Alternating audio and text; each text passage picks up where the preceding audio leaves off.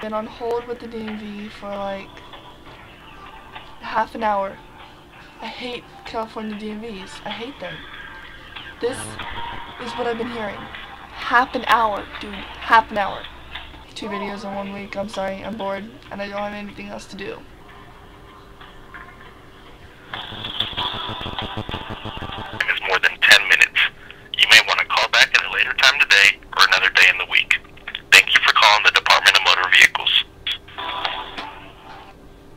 That's happened like for the sixth time today. And it's really starting to bug me. Hello? Oh, hi. Um, I was wondering. Okay, just to clear everything up. Yeah, okay, I was on hold with the DMV because um, I kind of lost my license.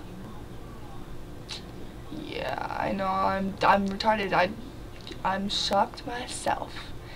And so I had to go and get another one and oh, it just everything and DMVs and blah and ugh and er.